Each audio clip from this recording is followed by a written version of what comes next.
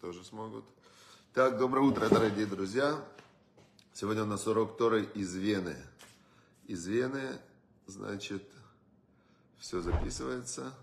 Все отлично. Урок Торы из Вены и не, прода... не прекращаю удивляться, не прекращаю удивляться уникальным возможностям, которые есть у нас сейчас для изучения Тора, вообще для жизни. То есть это фантастическая ситуация, когда можно совершенно спокойно прилететь в Вену, сесть за прекрасный стол и, значит, проводить урок Тора, а слушатели во всем мире. Это просто какой-то мы живем в том, что когда-то нам казалось э, фантастикой и сказкой, вот мы в ней живем сейчас, представляете? То есть еще в моем, в моем детстве представить себе, что вот так вот будет, ну не мог, только может быть в каких-то фантастических фильмах. Хорошо, но должна же быть в жизни что-то, что не меняется. Должно быть в жизни что-то, что является фундаментальным и неменяемым, и таким, знаете, постоянным настоящим. И это постоянно настоящее, это Тора. Поэтому мы сейчас открываем точно так же, как 3334 года назад в пустыне Моше Рабейну открывал, значит, открывал, я не знаю, у него не было телефонов, не было компьютеров, но он просто садился и говорил, вот сейчас глава у нас какая? Насо. Насо называется эта глава, и сейчас мы давайте посмотрим, что в ней написано. И сегодня мы 21 главу Мишлей будем изучать. И сказал Бог Моше, говоря, Насо этрош бней гершон, гам эм либет авотам лимишпахатам. Продолжается подсчет еврейского народа, все колена, сейчас почитывают колено Леви. Леви это те, которые были колено священников, которые служили в храме, были коины, которые приносили жертвы, а Леви это которые занимались всеми остальными работами, помогали этим священникам-коинам. И вот здесь у них было три, три рода. Здесь сейчас сегодня идет подсчет рода Гершон. Значит, вот их посчитали от 30 лет и выше до 50 лет. Их надо было посчитать, значит, чтобы они делали работы в шатре откровения. То есть мы здесь видим, что э, от 35 лет, шлышим шана мало, от 30 лет, от 30 лет они могли выполнять эти работы. А что они делали до 30 лет? Как вы думаете, что они делали до 30 лет? До 30 лет они учились. То есть получается, что у человека есть разные-разные э, этапы в жизни, разные, совершенно разные этапы. То есть прямо вообще. И когда человек переходит в новый этап, у него обычно происходит то, что называется кризис. У него происходит возрастной кризис, переоценка ценностей. Вот человек, например, маленький человек, ребенок, он э, был дома, потом его отдают в детский садик у него кризис, у него переоценка ценностей. То есть то он был единственный, вокруг были его родственники, а тут толпа какая-то других детей. Потом он идет из детского садика в школу, у него переоценка ценностей, да, то есть у него на 10 лет его, значит, запирают с э, другими детьми. Потом у него идет, э, он идет в институт, у него ему 17 лет, вот этот подростковый возраст, переоценка ценностей, он, вот, его, пытается он заново как бы выстроить свою голову. Потом с 20 лет до 30 еще следующий период. Потом с 30 до 40. Потом в 40, 40 э, лет у него начинается кризис среднего возраста, это называется. Да, у него средний возраст. Кто проходил, знает. Ты думаешь, а дальше как жить, что делать? И э, чем дальше мы живем, потом 50 лет, вот мне сейчас было 50 лет. Чем дальше мы живем, тем, э, тем э, потом 60 лет, наверное, кризис будет, я не знаю, 70. 80, 90, 100, наверное, тоже будет какой-то кризис. Тора нам говорит, что для каждого возраста есть специфическая работа. Например, вот я про себя знаю, в 50 лет написано, что можно уже давать советы. Это возраст для яйцы.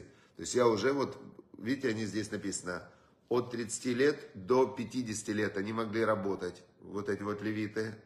А потом, в 50 лет, они начинали обучать тех, которые от 20 до 30. То есть их же надо было обучить, передать надо было им опыт. И это не день, не два, это очень была тяжелая работа. Хотя, казалось бы, мы смотрим, что за работа такая. Они носили, носили они покрытие этого передвижного храма.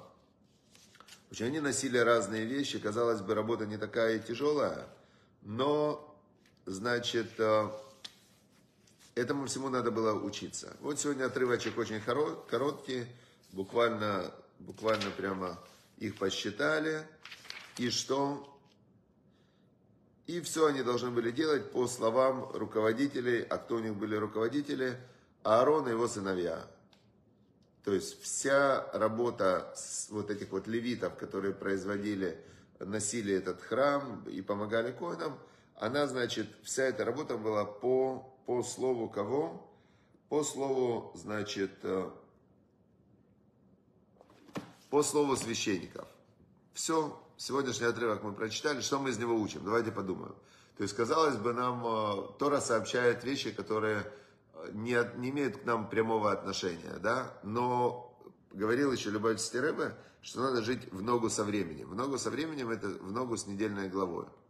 Вот мы смотрим и думаем, а в каком я сейчас периоде? Там, например, каждый из нас зашел в какой-то период. И что, мой старый опыт мне помогает в этом периоде? Оказывается, нет. Старый опыт может в чем-то помогать, в чем-то мешать. А где мне взять э, опыт тех людей, которые... Что мне делать дальше? Нужно взять у, людей, которые уже прошли этот этап. Но вы знаете, мы сейчас живем в очень сложное время. Вообще есть две большие сложности в наше время. Первая большая сложность, что еще в годы моей молодости, вот когда мне было 20 лет, да, когда мне было 20 лет, средняя продолжительность жизни в мире на то время была у мужчин 67 лет. Это была средняя продолжительность жизни. То есть в возрасте 50 лет э, человек в среднем входил уже в последний период своей жизни. И я помню, э, меня отец, э, покойный Захраноли Враха, он умер 89 лет. Но когда ему было 50, а мне было тогда лет там, 15 плюс-минус, даже 10, он мне говорил, я запомнил очень его, что если тебе 50 лет, и ты утром проснулся, у тебя ничего не болит – значит ты умер. Вот такую я запомнил мудрость из времен моего детства про возраст 50 лет. А мне сейчас 50 лет, я в 50 лет пробежал полумарафон на день рождения, 21 километр, и слава Богу, слава Богу, собираюсь и дальше бегать. И отец, который даже не думал, его отец умер в 60 чем-то лет, в... отец не думал, что он проживет 89 лет, но он дожил 89 лет, и слава Богу, последние, правда, последние 20 лет он не знал, что делать, потому что а, особо он не знал, что делать. У него не было как, а, того, кто его обучил бы, чем заниматься от 67 до, до 89 лет. Понятно, да, идея? Вот это то, что мы учим отсюда, что человек должен быть чем-то занят, обязательно должен быть чем-то занят. И если человек не занят чем-то, то он себя, как его мозг, сам себя съедает. А чем человек может быть занят? Самое лучшее занятие для человека какое? Это изучение, обучение чему-то, то есть поставить цель, учить Тору. И вот мы сейчас переходим к Мишлей. Я очень прям люблю эту книгу, потому что, потому что в ней есть очень много практических, невероятно таких а, мощных советов, которые, которые мы можем с вами выполнять.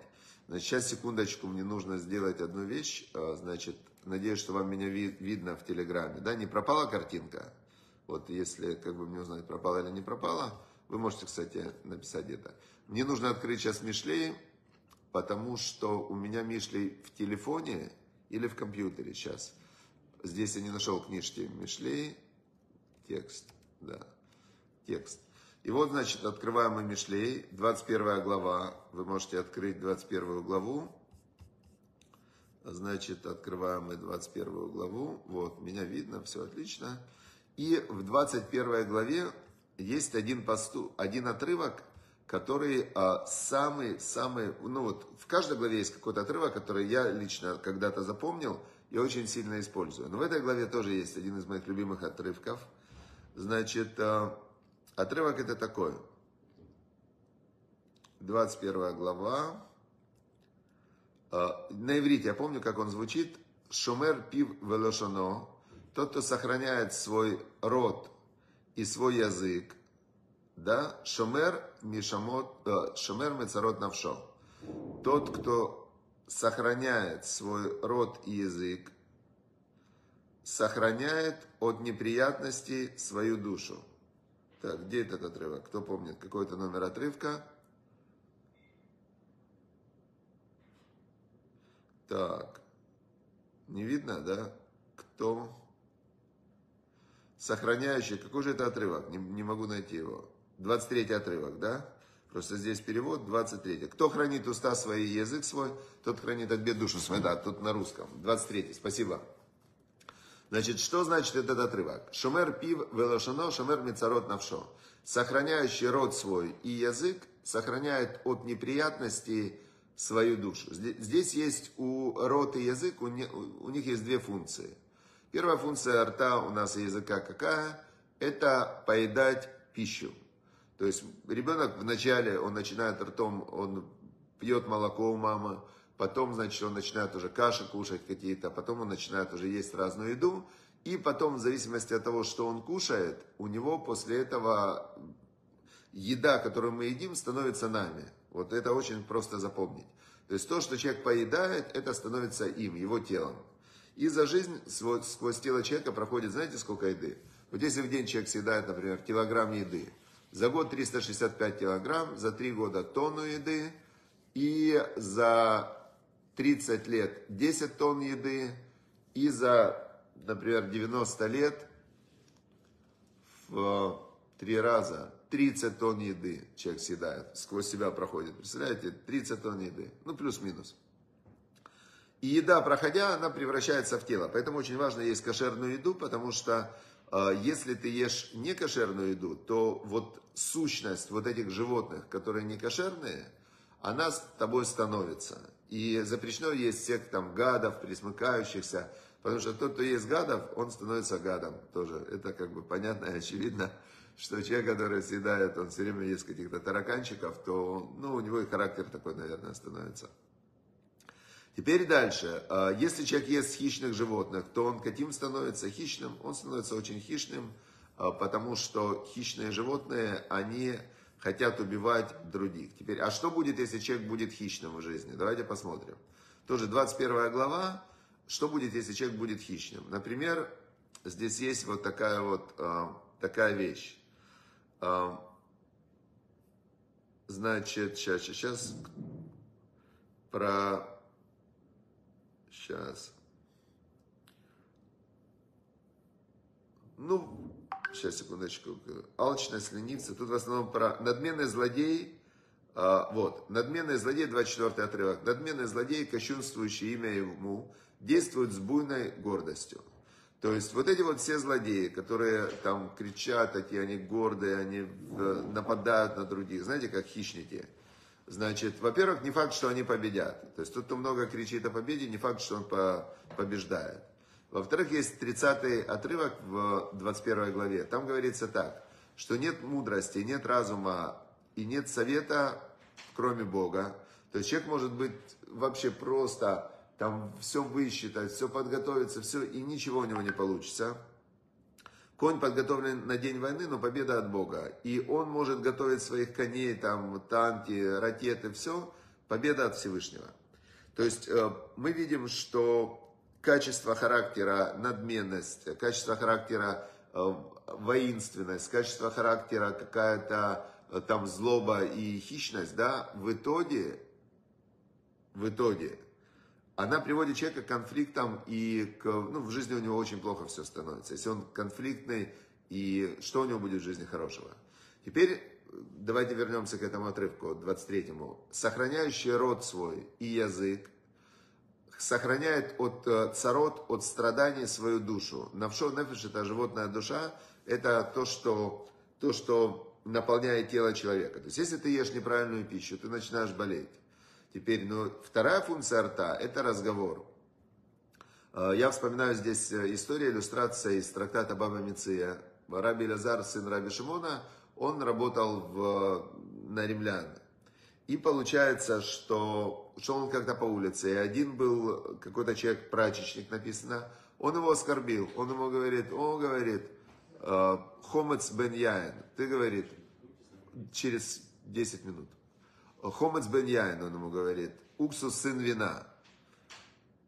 Тот говорит, «Э, ты как меня оскорбляешь вообще? Что такое хомец, э, уксус сын вина? А он имел в виду, что уксус сын вина, это твой папа был вином, праведником, а ты уксус. И он ему говорит, уксус сын вина. Раби Лазар, сын Раби Шимона, говорит, ах ты, говорит, из того, что ты такой наглец, видно, что ты злодей. Потому что человек хороший, зачем он будет другого оскорблять? Говорит, арестуйте его, разберемся. Его арестовали. Арестовали его, потом написано, Раби Элязар подумал, подумал и говорит, ну, может, я погорячился, ну, ну, обозвал меня человек. Ну, ладно. А тут, знаете, как есть, э, тоже есть еще один отрывок очень хороший здесь, знаете, сейчас про то, что, ну, э, значит, тут на русском так не, не очень перевод мне нравится. Значит, там есть такой отрывок, 21 э, Тот, кто следует за цдакой и хеседом, милосердием, он найдет жизнь, э, цдаку и почет, и кого-то. То есть человек, который идет за милосердием, и он другим прощает, не обижается, он такой, то он в итоге его будут почитать. Хотя кажется наоборот, что человек, который прощает, его не будут почитать. Но с другой стороны, вот смотрите, очень часто люди обижаются э, на то, что ну вообще не, один не хотел обидеть, у него не было намерения обидеть. Я всегда детей учу, что ты смотри не на слова, а на намерения. То есть, что, иногда человек говорит э, вроде бы простые слова, но у него явное намерение тебя обидеть, да, то есть он хочет против тебя. Иногда человек говорит, может, какие-то слова неприятные, но у него намерение там э, сделать тебе хорошо. Бывает и так, и так. То есть нужно глубже смотреть на намерение. Теперь, значит, э, Раби Элязар, сын Раби Шимана, он подумал, да, отпущу его. Возвращается в тюрьму. А того уже повесили.